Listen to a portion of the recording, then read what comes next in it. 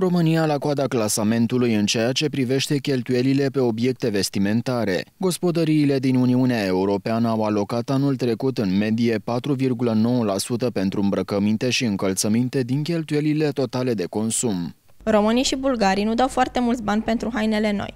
Gospodăriile din cele două state se află în coada clasamentului european, alocând doar 3,4 respectiv 3,2% din cheltuieli pentru astfel de cumpărături.